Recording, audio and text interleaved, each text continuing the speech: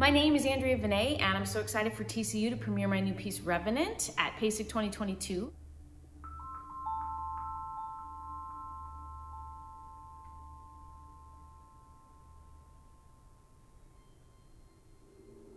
The word revenant means someone or something that comes back after a long period of absence or death and is represented by the high metallic motive that is recurrent throughout the piece.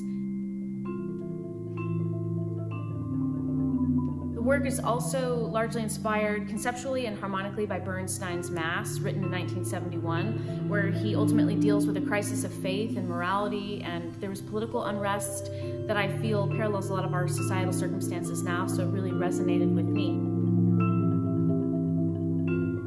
I hope you enjoy it, and we will see you at PASIC 2022.